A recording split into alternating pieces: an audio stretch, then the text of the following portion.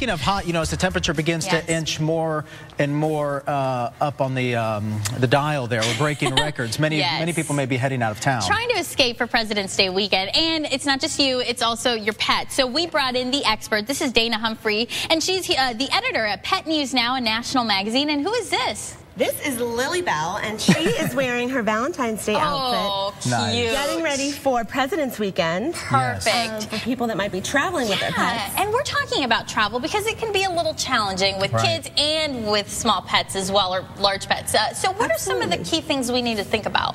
Well, no matter where you're going, you definitely want to bring water, especially in this heat. Um, I have a travel bowl over here. Oh. Um, it just snaps together real easy. Look at that. Um, you definitely want to bring a water bowl. That's essential Sure. to beat the heat. Um, and you want to have a nice carrier, whether you have a big dog or a small dog.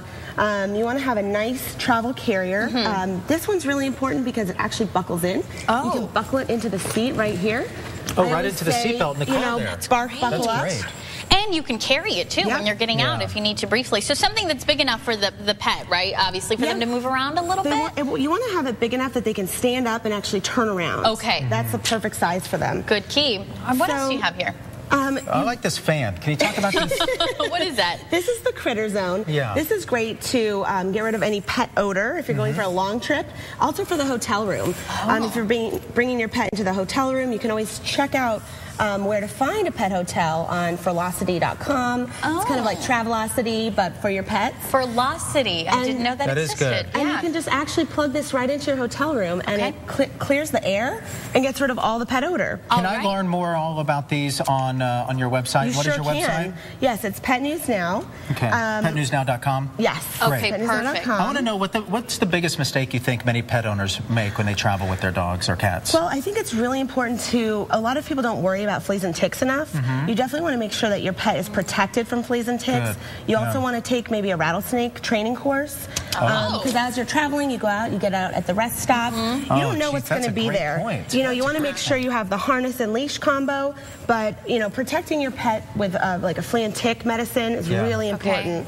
You know, and this is so affordable. It's like five dollars a Yeah. month. And you never know where you're, you know, you're getting them out for a bathroom break, and they might That's need a great point. I didn't even think about that. Points. Good deal. And then you have some more snacks as well. Always keep the snacks That's handy. for the cat, the cat lover. Oh, Iris, there you go. thanks. All right. If if your pet has anxiety while traveling, which actually a lot of pets do, you definitely want to check out the Calm Coat. Okay. Um, this is like a swaddling technology that actually goes around your pet and it like swaddles them like Absolutely, a baby. yeah. And it makes them feel Great comfortable, tips. makes them feel safe. For the cat lover, we have the cat walking leash, so you can give them a break, and also the new Calm Cat. Okay. Um, perfect. Everybody needs to be calm. Absolutely, Dana. Thank you so much. These are great tips. Keep in mind, and again, your website, petnewsnow.com. Thank you. Always reward them with a minty. There you go. All right. You're watching ABC 15 Mornings. We'll be right back. Thank you.